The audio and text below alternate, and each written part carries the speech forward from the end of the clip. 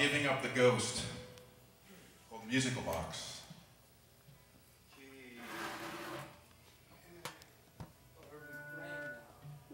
For our next number, at Robert's request. This is the song that kind of started off the whole progressive rock movement. It's called In the Court of the Crimson King.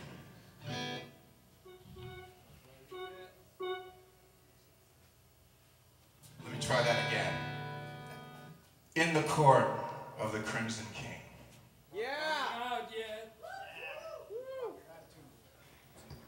Uh,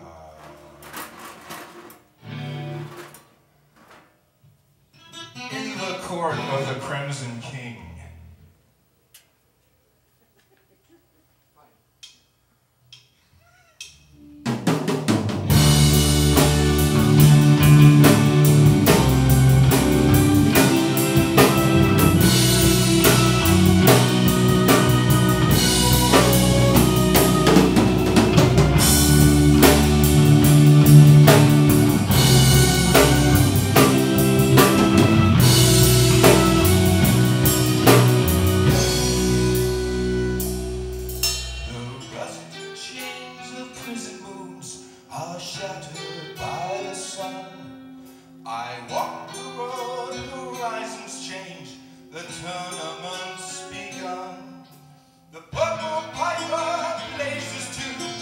Choir softly sing.